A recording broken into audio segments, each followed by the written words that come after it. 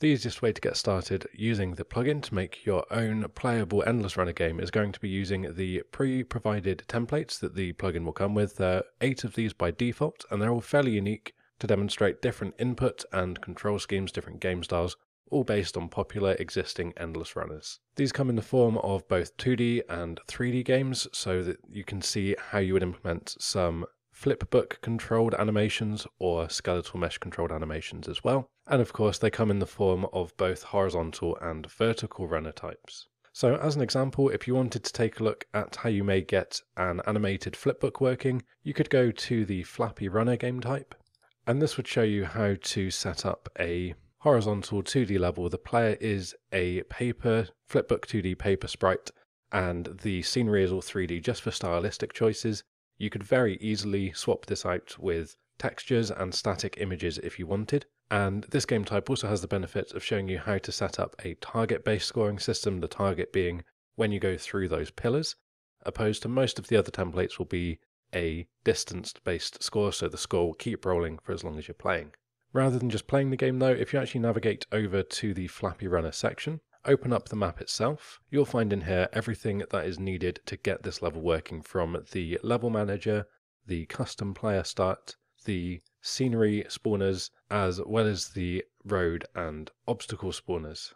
So again, this would be a great way to come in, just look around, see what's already included, see what is referencing what and how the level is set, and you could then take from this and build upon it, replace things, and set the game to work exactly as you wanted. In a similar way, you could come over to, for example, another 2D option is the Lizard Runner, and inside of this we have Lizard Runner 2D or 3D, and this would be an example of the entire game being made of 2D components. So in here, both the player and the level pieces are all 2D, so we've still got the paper flipbook for the animations and then just standard 2D sprites down here for the level. This is a distance-based scoring system, so you could see the score was updating constantly. But again, that's another example of a 2D game. If you wanted to compare that directly to the 3D version, you, you could come over to the Lizard Runner 3D example. Now the final thing, another one which is very unique, is the Vertical Runner.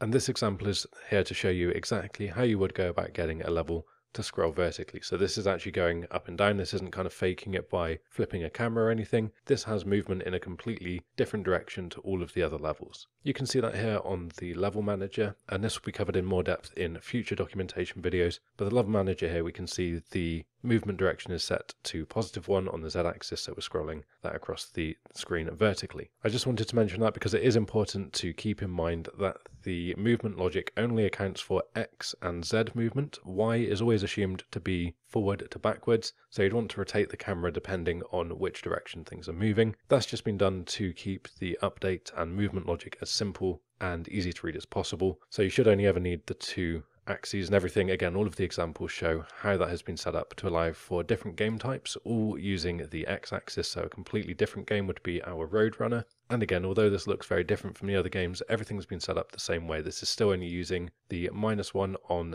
the x direction for the movement, or positive one, sorry, because of the way that the camera's been placed. So you just need to place the camera accordingly to get that scrolling in the correct direction. Another important thing to keep in mind about the templates is that everything has been placed in a specific uh, folder structure. So all of the template games, which have their own unique objects, classes, materials, anything like that have been placed in their own folder structure here. Everything else has been placed in the common assets, including a lot of the base parent classes. So these are things that any project or prototype of the game types will need. So you shouldn't be changing or deleting anything from here and uh, avoiding removing code and things like that from these, as well as any audio effects or materials that are shared between different uh, game types. So these are all going to be things that you'll probably need in your game as well. So these have been put in the common assets, but the other game types and examples have all been separated into their own folder structures, and this should allow you to easily come in, delete any parts of the project that you don't need to keep the final kind of build size down.